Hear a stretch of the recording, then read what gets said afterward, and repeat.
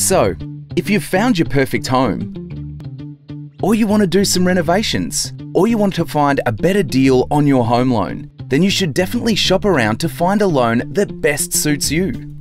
Here's a few helpful tips when comparing. Firstly, when home lenders show the advertised rate versus the comparison rate.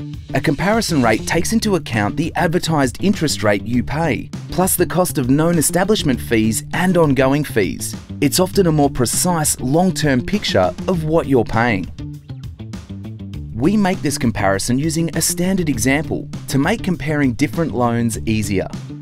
Secondly, if you're thinking of a fixed rate, just check what rate it reverts to as well after the fixed period of your loan, as many lenders will place you on a higher standard variable rate. If the lender is offering a honeymoon period on its loan, then check the rate the loan reverts to. This higher rate is what you'll end up paying in the long run.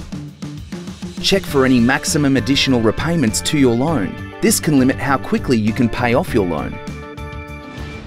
At Greater Bank, we're proud of our free online redraws on all our home loans. Check other lenders are offering this for you. This does come in very handy for holidays, renovations and emergencies. If you're looking to bid at auction or make an offer on a home, you'll need pre-approval on your home loan and it'll let you know how much you can offer.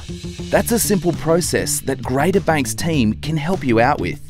In fact, simply talking with our team can make the whole process much easier.